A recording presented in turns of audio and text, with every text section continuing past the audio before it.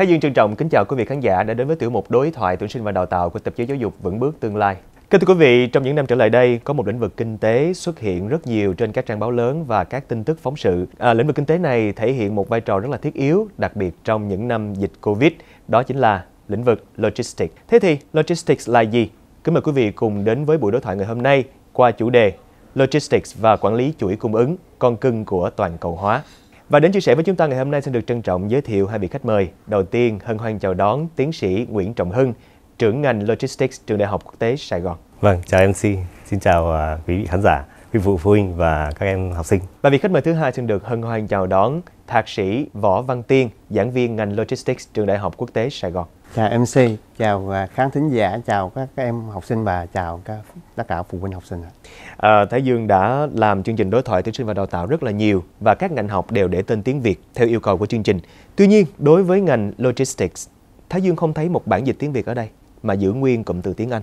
À, tại sao vậy ạ? Logistics trên các văn bản luật của Việt Nam thì hiện nay chúng ta không dịch được một cái từ logistics sát nghĩa nhất. Cụ thể luật thương mại thì chúng ta cũng để là ngành logistics. À, về xuất phát điểm thì ngành logistics là một cái thuật ngữ à, xuất phát từ châu Âu liên quan nhiều đến lĩnh vực quân sự thời xưa và à, những cái phần hậu cần của khi mà chúng ta ra ra ra ra ra chiến trường thì cái phần sau chúng ta như còn chuẩn bị đạn dược, chuẩn bị à, lương thực, chuẩn bị các cái nhu yếu phẩm cho quân đội thì chúng ta à, có một cái bộ máy phía sau gọi là hậu cần thì lúc trước người ta dùng cái thuật ngữ logistics với nghĩa đó, tức là phục vụ cho cái hậu cần cho quân đội. Tuy nhiên thì với cái sự phát triển của nền kinh tế hiện nay thì ngành logistics được hiểu với nghĩa rộng hơn. Tuy nhiên thì không dịch được một cái từ sát nghĩa nhất. Trước đây khoảng 20 năm thì người hay dùng, người hay dùng từ kho vận, kho để lưu trữ và vận chuyển. Tuy nhiên thì cái từ kho vận đó nó cũng không giải quyết hết được những cái cái cái nội hàm của logistics. Cho nên là cái cách tốt nhất là chúng ta giữ lại cái từ này. Và tôi hy vọng rằng trong chương trình ngày hôm nay thì chúng ta sẽ dần dần hóa giải cái nghĩa của nó sau sự giải đáp thắc mắc đầu tiên của thầy Hưng thì Thái Dương có thể mường tượng được logistics nó là như thế. Vậy thì ờ, các bạn thí sinh đang có một băn khoăn học ngành này thì sau khi tốt nghiệp sẽ làm nghề gì ạ? Nếu để hiểu một cách ngắn gọn nhất để một từ để các bạn hiểu luôn thì logistics sẽ đảm nhiệm tất cả những cái dòng chảy về thương mại và dòng chảy về về về hàng hóa. Biết làm sao hàng hóa từ nguyên liệu đến nơi sản xuất đến nơi người tiêu dùng thì cái dòng chảy đó sẽ do ngành logistics đảm nhận. Thế thì như các bạn thấy thì với cái dòng chảy đó thì các bạn sẽ có thể làm việc trong các lĩnh vực như vận tải, xuất nhập khẩu, bộ phận giao nhận, quản lý kho hàng, à, quản lý à, nhà cung nhà cung cấp trong chuỗi cung ứng và rất nhiều các công việc khác phụ giúp cho cái công việc chung đó, thậm chí là bảo hiểm và ngân hàng và thanh hay là thanh toán quốc tế. Thì đó tức là những cái cái phổ của cái ngành này rất là rộng đất nước Việt Nam mình hiện giờ nó dựa trên nền tảng là à, sản xuất là chủ yếu mà toàn cầu hóa thì không thể thay đổi và Việt Nam mình sẽ là một cái nơi mà có thể là trung tâm của sản xuất. Tức là các công ty toàn cầu người ta sẽ chuyển cái công việc nó sang những nước có nhân không giá rẻ hơn và có lợi thế hơn gì chẳng. Họ sẽ chuyển về Việt Nam là một trong những điểm. Và khi người ta chuyển sang Việt Nam mà sản xuất thì người ta sẽ chuyển cái hàng hóa đó đi tới nơi khác để tiêu thụ ở trên toàn cầu. Thì cái công việc này thì nó bao la. Chúng ta đang ở trong thời đại cách mạng công nghiệp 4.0, có một số ngành đang đứng trước uh, nguy cơ gọi là bị tuyệt chủng trước những cái phát minh về AI. Vậy thì uh, hai thầy đánh giá như thế nào về triển vọng phát triển của ngành logistics? Hàng nghìn năm trước, chúng ta đã có con đường tơ lụa ở trên đất liền, con đường tơ lụa trên biển, vân vân để phục vụ cái nhu cầu uh, giao thương, vận chuyển hàng hóa thì hàng nhiều nghìn năm nay chúng ta vẫn làm công việc này. Có thể chúng ta chưa định nghĩa nó là từ logistics. Cho nên là ngành logistics cái triển vọng nó không không phải đếm trong năm 10 năm. Khi nào con người cần hàng hóa thì cái ngành này còn cần. Khoa công nghệ ngày càng mới ấy, thì là cả một cái cơ hội lớn cho ngành logistics khi đó chúng ta nâng tầm cái dịch vụ chúng ta lên chứ không phải là một cái gì đó triệt tiêu cái cơ hội của ngành này giống như một số ngành khác Hay người xưa chúng ta sẽ đem cái hàng hóa đó từng những cái cửa hàng đi từ sản xuất đến hệ thống phân phối đến người tiêu dùng theo một cách là có cửa hàng cửa hiệu vật lý thực sự. Dạ. Nhưng ngày nay người ta sẽ dựa trên những cái sàn thương mại điện tử thì người ta sẽ rút ngắn bớt đi hoặc là giảm bớt cái trung gian hoặc là công nghệ cũng có thể giúp cho người ta Ừ, tạo ra một cái chuỗi cung ứng hiệu quả hơn dựa trên nền tảng về số hóa. Ví dụ như một số hãng người ta sẽ giảm bớt trung gian bằng cách là tạo ra một cái website và sau đó họ lấy từ nhà cung ứng, supply người ta bán đến người tiêu dùng. Hoặc là khi mà chúng ta thiết kế một cái chuỗi cung ứng dựa hoàn toàn trên số hóa thì vấn đề nó đỡ về giấy tờ, thủ tục và cái dòng chảy của chúng ta nó nhanh hơn. Rõ ràng nó đỡ về vấn đề tồn kho và nó hiệu quả hơn rất nhiều.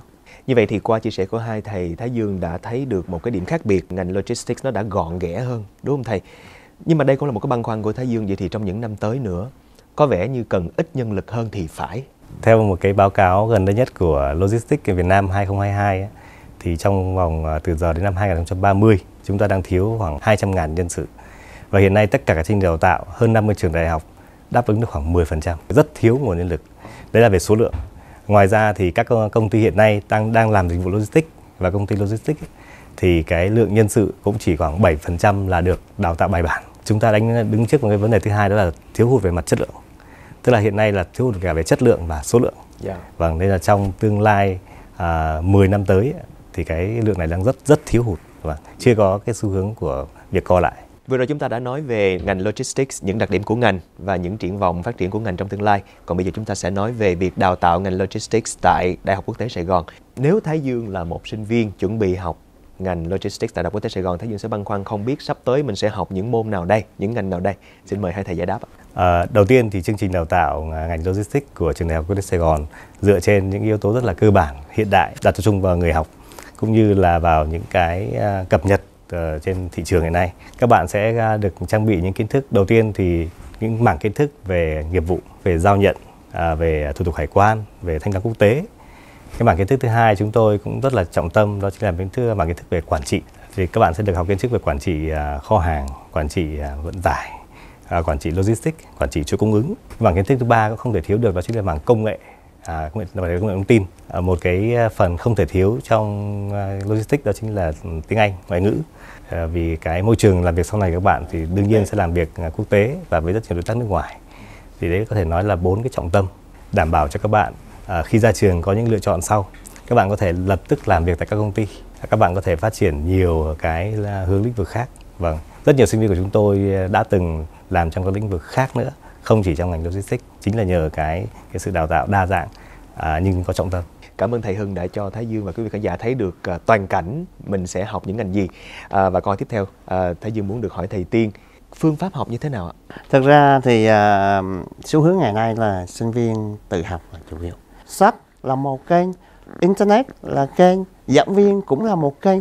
Trong các người thầy đây đều là những người đi làm, nó có kết nối với doanh nghiệp. Uh, các em sẽ tới với doanh nghiệp cùng với họ để làm thì đó là một cách mà để chúng ta uh, sinh viên ra nắm bắt được công việc. Vừa rồi thầy có nhắc đến cụm từ là chúng ta phải đi tới công ty của họ để học. Thầy có thể nói rõ hơn về chi tiết đó được không ạ? Làm sao để có thể đi được đến công ty của doanh nghiệp để có thể thực tập thưa thầy? Thực ra thì với mối quan hệ chúng ta đặt lên cái lợi ích là họ cùng với ta là cùng có lợi. Dạ. À cái nghĩa là chúng tôi à, tới đó chúng tôi giải quyết công việc cho anh một phần. Dạ. không không vấn đề gì cả. Và sinh viên của mình sẽ được thực tập tại thực đó đúng tập, không thầy? được thực tập được làm thực tế. Vâng và thêm cái ý của thầy tiên vừa chia sẻ tôi xin bổ sung một điều năm vừa rồi thì nhà trường có một cái à, chiến lược mới đó chính là thay đổi cái bố cục chương trình đào tạo để hướng nghiệp sớm yeah. Dạ. thì cái này nó là cái gì tức là trước đây các bạn sinh viên được thầm hiểu rằng năm nhất năm hai là chỉ học kiến thức đại cương sau đó năm thứ ba thứ tư dần dần vào chuyên ngành thế thì đôi khi các bạn sẽ có một cái sự là là là chán nản và và mất 2 năm không biết mình thực sự sẽ học cái gì thì bây giờ chúng tôi sẽ đưa dần các môn chuyên ngành về ngay từ học kỳ thứ nhất à, dạ. thì ngay thứ nhất các bạn đã có những cái định hình về ngành à, từ đó thì năm thứ hai thứ ba thứ tư các bạn sẽ học hiệu quả hơn vì biết là mình sẽ lựa chọn cái mảng công việc nào mình sẽ trọng tâm vào. Kết thúc năm thứ nhất các bạn sinh viên có thể bắt đầu làm những việc đơn giản trong cái công việc trong cái logistics. Kết thúc năm thứ hai các bạn có thể đảm nhiệm những công việc tương đối phức tạp hơn. Và về cơ bản kết thúc năm thứ ba các bạn đã có thể làm việc như một người đi làm. Và cũng là một lợi thế của SIU so với những trường khác chính xác, chính xác. Và Thái Dương tin rằng đó không phải là lợi thế duy nhất. À, hiện nay ở SIU ờ, các giảng viên không những có học vị, có kiến thức về giảng dạy mà chúng tôi đều là những người đã kinh qua việc ờ, ờ, thực tế đi làm và chia sẻ lại cái kinh nghiệm đi làm đó với các bạn. Siêu là một trong những cái trường mà cơ sở rất là đẹp và thậm chí không phải là chỉ là chúng tôi nói. Và nhiều người giảng viên mà tới ở những trường khác mà có những hội thảo họ tới đây họ bất ngờ. Thứ hai nữa là học phí chúng tôi uh, tương đối cạnh tranh. Các sinh viên học từ siêu thì hầu như các bạn sẽ không có tăng học phí năm sau tăng so với năm trước đó. Hay nói một từ mà đúng theo kinh tế học thì học ở siêu là miễn nhiễm bởi lạm phát. Dạ vâng. Và ngoài ra các bạn có một lợi thế nữa đó là hiện nay với ngành logistics à, sinh viên à, đăng ký vào ngành này thì sẽ được à, một cái học bổng là khoảng 30% à, giá trị của toàn khóa wow. tức là không phải chỉ một kỳ học kỳ đâu mà các bạn sẽ được nguyên cả 3 năm rưỡi 4 năm học à, với chương trình học bổng của doanh nghiệp một lần nữa xin được cảm ơn hai thầy đã mang đến buổi trò chuyện hôm nay rất là nhiều thông tin hữu ích ạ. Vâng, à, cảm ơn MC và cũng xin thay mặt thầy Tiên xin gửi lời cảm ơn đến quý vị khán giả, quý vị phụ huynh và tất cả các em học sinh. Hy vọng rằng chúng tôi có thể đón tiếp các em tại trường Đại học Quốc tế Sài Gòn trong cái mùa tuyển sinh tới đây. Xin cảm ơn. Kính thưa quý vị và các bạn, vừa rồi là buổi trò chuyện mang chủ đề Logistics, quản lý chuỗi cung ứng, ngành con cưng của toàn cầu hóa. Mời quý vị cùng theo dõi những tiết mục tiếp theo của tạp chí giáo dục Vững bước tương lai.